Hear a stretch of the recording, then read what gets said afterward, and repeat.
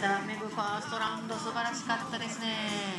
え 6×5 ですねファーストラウンド。パーフェクトの持ち点は30さあこの30をセカンドラウンドでどこまで伸ばしてくるか。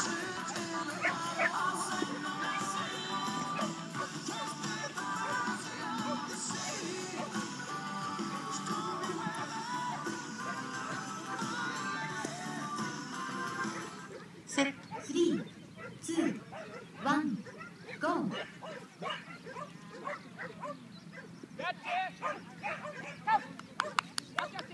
もし一度口の中入ったんですけどもねそのままねつるりと出てしまいました。1投目ワンのキャッチ。さあ気を取り直して続く2投目。惜しい2投目キャッチならず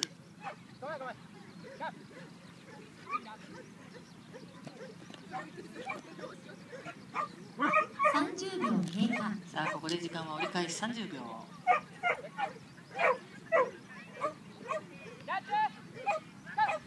さあ3投目抑えました。キャッチが決まって6ポイント。15秒前。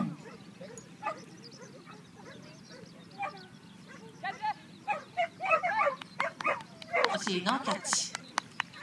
5、4、3、2、1、タイムアウト。さあラストスローは時間内収まります。メグも答えますね。